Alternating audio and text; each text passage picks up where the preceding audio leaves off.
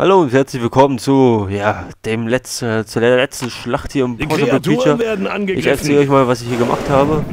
Ich muss lauter reden, weil ich mache erstmal hier, ach, das ist doch, hätte ich vielleicht schon mal früh, früher machen soll, Sprachlautstärke. Obwohl, bei den Sequenzen ist es dann verdammt leise. Ähm, ich erzähle es schon mal so. Ich habe, äh, hier sieht man Really Giant Crabs gebaut und die habe ich äh, mit dem Genverstärker so maximal verstärkt, wie nur möglich ist. Und jetzt machen wir einen Sprint, so schwer es wie möglich ist bei den Really Giant Crabs, Richtung Basispunkt hier von dem Gegner. Und ich sag mal so, ich bestimmt einfach alle. Und Angriff Die auf die Gegner. Kreaturen werden angegriffen. Und ich denke mal, das wird schon klappen. Einigermaßen. Ich habe so ein bisschen angetestet. Ich gebe zu, ich habe ja gesagt, äh, ich werde mal ein paar Taktiken Die ausprobieren. gewünschte Entwicklung Und die Taktik scheint schon ganz gut zu sein, weil wir Die relativ weit nach zur. Basis kamen. Und ich werde mal hier ein bisschen reinlaufen mit den Gegnern. So, dass Die Kreaturen werden angegriffen. viele angreifen können. So, der sieht schon wesentlich besser aus. So, okay. Es werden zwar bloß die Really Giant Crabs hier die ersten Schwung überleben.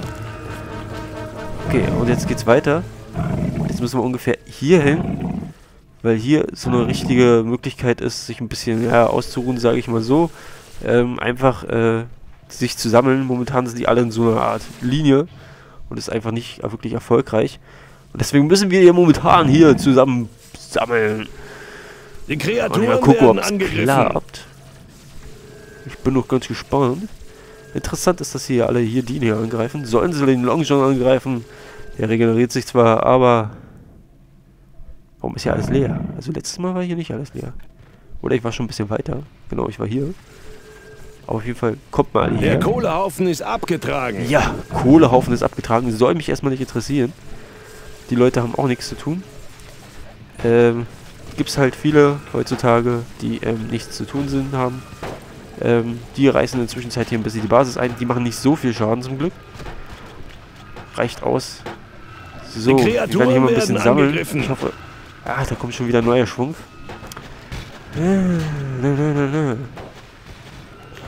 Gut, Leute, greift mal ein bisschen an.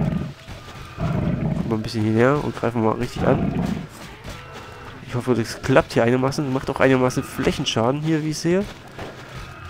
Einfach mal raufdutschen, wie nur möglich. Und dann hoffen wir, dass so viele wie möglich auch sterben dadurch. Okay, und hier nochmal ordentlich. Kommt schon. Verlasst hier meine Zuversicht nicht. Macht schon ein bisschen was. Hier ist auch noch einer. Der hier nochmal Angriff. Hier nochmal Angriff. Hier schön in die Mitte reinsammeln. Aber ordentlich. Die Kreaturen Und den noch mal werden treffen. angegriffen. Ach, Mann, Mann, Mann, Mann. Hier, der hier nervt auch total. Der macht seinen Splash Damage. Und der geht schnell weg. Und den hier angreifen. Und die greifen hier bloß im Nahkampf an. Also nicht so wichtig momentan. Die können wir eh besiegen. Und kann ich mal Gebäude zerstören hier. Hier, Gebäude zerstören. Das können wir kaputt machen. Greifen wir den noch an. Ups. Hier, Angriff. Und zurück. Zwar, ja, wir haben zwar jemanden, der mitkommt, aber wir werden jetzt ohne Umschweifen gleich mal hier zur Basis laufen. Und die gehen ja hier alle mal schön in den Nahkampf. Die. Kreaturen werden angegriffen. Ja, Kreaturen werden angegriffen. Na gut, bekommt halt ein bisschen Schaden. Wir sehen aber es ist nicht so viel durch die Türme. Kommt mal her. Oh, ho, ho. Hier Gorilla. Den attackieren wir auch gleich nochmal. Ja, so stark sind die alle nicht. Hier auch nochmal ein Gorilla. Ach, ja. Ja. So, und alle jetzt sind wir hier Angriff. Auf die Basis. Ach, ihr habt den Gorilla immer noch nicht besiegt. So, alle auf, den, alle auf die Basis. Ähm, ich werde schon mal nachproduzieren, auf jeden Fall. Weil wir gleich vielleicht nochmal einen Schwung brauchen. Deswegen habe ich auch drei Türme gebaut, äh, drei Dinger gebaut. Und naja, mal gucken, ob es klappt oder nicht. wird sich alles zeigen. Wir brauchen hat auf jeden Fall viel Schaden, was aushält. Ah, Jungs, Jungs, Jungs, Jungs, Jungs. Bisschen schneller produzieren. Jetzt haben wir nur noch drei. Ach. Die haben voll viele von denen hier produziert. Ach, so, so, so, so.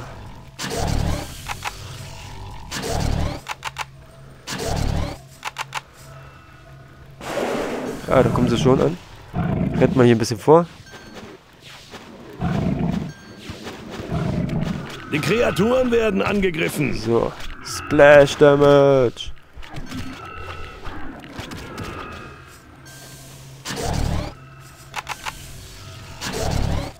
So, also Kohle können wir produzieren wir auf jeden Fall noch. Daran soll es nicht liegen. Gut. Gleich mal weiter Schwung holen. Mit großen Finesse hier gleich zur Basis nochmal kehren. Ich hoffe, die haben nicht allzu viel nachgebaut. Das ist nämlich eigentlich immer blöd, wenn die nachbauen. Ähm. Und die gehen schon wieder hier lang wie so ein D-Zug. In Reihe und Glied. Das ist... Das ist schlecht. Das ist verdammt schlecht. Okay, die kümmern sich mal um den hier. Die anderen können vorbeilaufen. Können vorbeilaufen. Können vorbeilaufen. Die Kreaturen werden angegriffen. Ach, die Viecher nerven. Mit ihren dämlichen Splash Damage hier.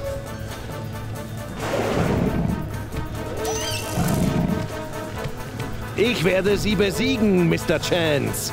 Meine Welt, die ganze Welt hängt davon ab. Na kommt schon. Hier ein bisschen rein. Und wir werden gleich wieder nachproduzieren. Wie sonst was. Nein, den wollte ich nicht haben. Und ihr kommt auch gleich wieder mit. So, hier hoch.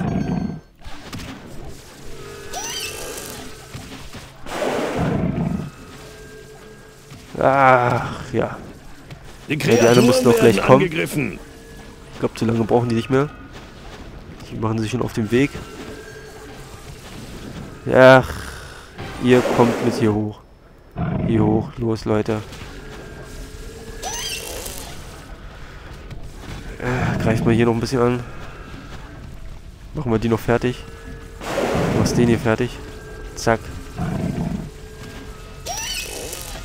Sehr schön. Und hier kommt schon die andere Armee von vorhin hier unten. Da können wir auch schon mal. Wir haben schon mal angegriffen zwar, aber. Ja, konzentriert euren Angriff mal hier rauf. Und ich werde mal hier mit denen hier schön in die Mitte gehen. Äh, schön in die Mitte gehen. Und hier Die kommt doch gleich die nächsten werden Schwarze. Ja, really Giant Crab, wa? Ah, verdammt.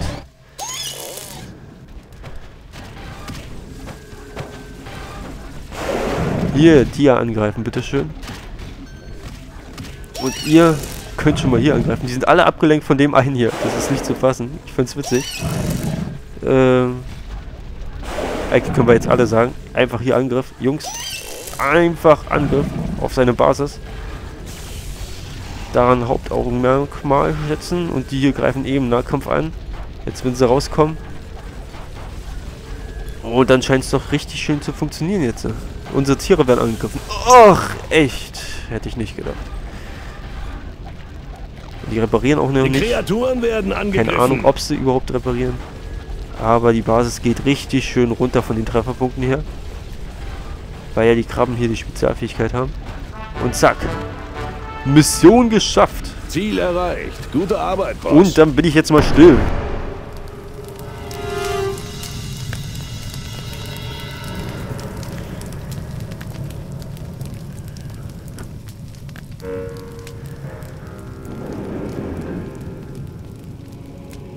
Hatten Sie jemals einen Traum, Mr. Chance? Ich habe davon geträumt, eines Tages meinem Vater zu begegnen. Ich glaube, da habe ich Ihnen einen Strich durch die Rechnung gemacht.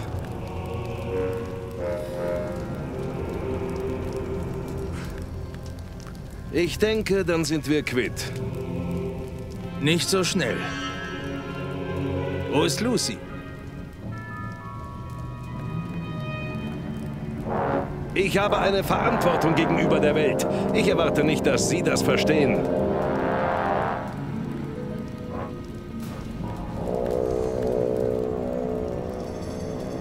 Hasta la vista, Julius.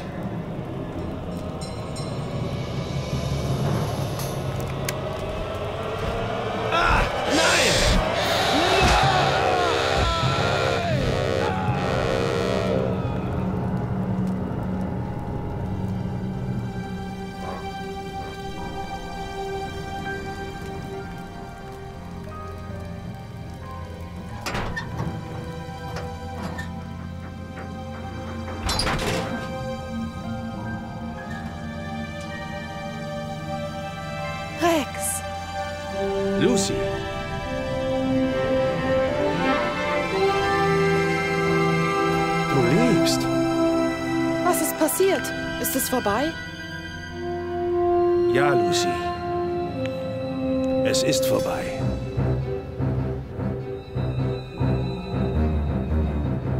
Boah, jetzt hat er solche Augen gehabt wie die Tiere.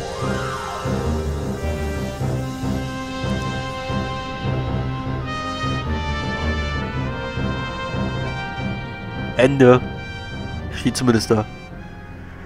Ja, ich denke mal, jetzt kommen noch Credits. Genau, dachte ich es mir noch. Äh, Fazit. Hm, mal schauen, vielleicht teile ich das Fazit. Naja, teilen das Fazit wäre schwachsinnig. Wird halt so ein großes Video. Impossible Creature, also das habe ich jetzt ja nach Paraworld beendet. Äh, relativ kurzes Spiel, wie wir alle mitbekommen haben. Hat jetzt äh, nicht mal 60 Part, ich glaube das Part 59. Wäre, ja, vergleichbar bei Paraworld vielleicht ja, mit 80 Parts, also geht so, so insgesamte Spielzeit, schätzungsweise, ach, rechnen wir mal kurz. Äh, 10, 15 bis 20 Stunden. Also nicht allzu viel. Äh ja, was soll ich sagen? Am Anfang sehr einfach. Die Mission hat mir schnell durchgespielt. So, zum Ende nicht so sehr schwer, aber zur Mitte war es doch relativ schwer. Also während bei Paraworld äh, so zwei, drei Missionen relativ knifflig waren, die auch clever gestaltet worden sind, denn sie wurden einfacher, wenn man einfach die Bonusziele und die Mission davor gemacht hat. Und der Gegner war an sich nie unfair sondern er hat sich wirklich sozusagen, er war, hat sich cleverer später angestellt. Er war aber nie unfair gewesen. Während hier bei Impossible Creature der Gegner immer dieselbe Intelligenz war, immer dieselbe Dummheit hat er angerichtet. Er hat sich nie darauf eingestellt, was für Gegner du, äh, was für Einheiten du gebaut hast. Äh, und ja, man konnte dann analysieren, welche Taktik er hatte und man hat dann versucht, dagegen anzugreifen.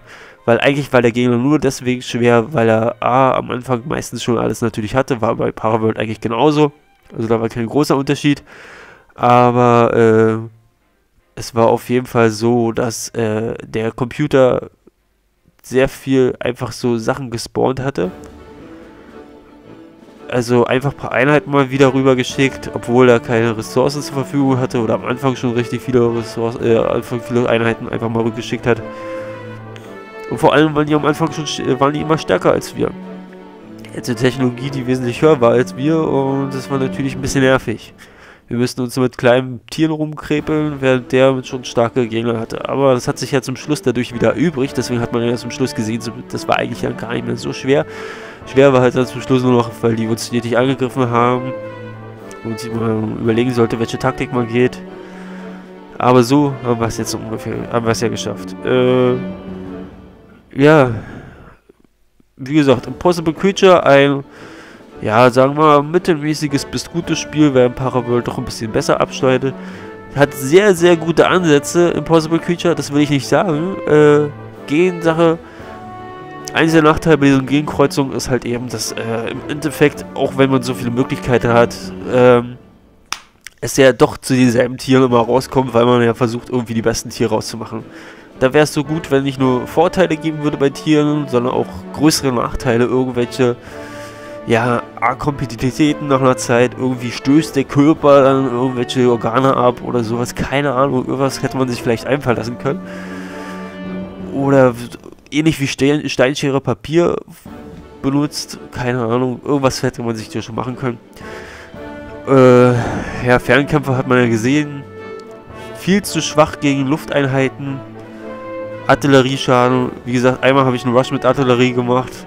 Hat geklappt, aber sonst Artillerie tötet eigentlich mehr deine eigenen Leute als die Gegner, weil die Gegner mehr verstreut, mit einzelnen starken Einheiten kommen, als mit riesengroßen Armeen. Das machen sie vielleicht mal ab und zu mal, aber nicht so doll, wie man eigentlich denkt. Bringt Artillerie nicht mehr so viel.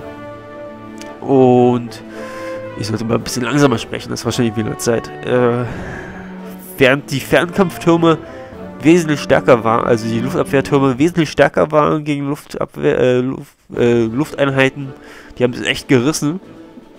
Da kann auch eine starke Lufteinheit, ich habe ja gesehen, oder was heißt, ich habe es ja gemacht, die Potwal-Libellen-Kombination war eines der stärksten Flugeinheiten, hat er trotzdem Probleme äh, mit Turm. Uh, ja, und sorry, äh, jetzt habe ich gerade Aufstoßen gehabt. Wie peinlich. Während die normalen Abwehrtürme, die Schalltürme, eigentlich absolut schwachsinnig zu bauen sind. Also Nahkampfeinheiten, wir haben es bei Really Giant Crab gesehen, die haben zwei Schaden gemacht bei dem, der hat in der Zwischenzeit wieder eins regeneriert, also macht er einen Schaden pro Schuss und es, das ist einfach nicht effektiv.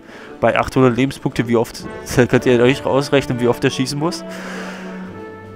Während die Dorn als effektiv als äh, Verteidigungswall noch blöder sind, weil da braucht man bloß Artillerieeinheiten hinschicken und die zerstören alle Dorn auf gleichzeitig auf einmal, wenn man die hintereinander gebaut hat. Also, absolut dämlich. Gut, wir können mal kurz nochmal die Statistik angucken. Entwickelt Armee am besten waren bei mir, ja, man sieht schon. Am besten war von denen, man sieht es auch schon. Und ja, das war es dann von meiner Seite von Impossible Creature. Ich werde, wie ja angedacht, ähm, mit Common Conquer anfangen. Der Mutter aller Echtzeitstrategiespiele. Weil ich das einfach mal machen will, weil es mich schon von Anfang an gereizt hat. Ich habe in letzter Zeit ein bisschen was rumprobiert, dass es auch wirklich klappt. Und ich hoffe, das gefällt euch auch, dass ihr mir da treu bleibt gerade, ich will heute, wie gesagt, ich will ein Echtzeitstrategiespiel durch ein Echtzeitstrategiespiel austauschen und ein Rollenspiel durch ein Rollenspiel austauschen und ein FSK 18 Spiel aber durch ein FSK 18 Spiel austauschen. Insofern könnt ihr euch schon ungefähr denken, was raus, äh, was als nächstes kommt. Bei den anderen Spielen, wenn die fertig sind. Wobei die ja noch ein bisschen länger dauern. Dungeon Siege, ja, gucken, vielleicht bin ich, ich bin, glaube zu 60% fertig. 60, 70%, wenn man gut rechnet bei Fallout 3, da kommen noch ordentliche Parts. Aber das macht auch wirklich Spaß zu spielen und ich gefällt euch bestimmt auch anzuschauen.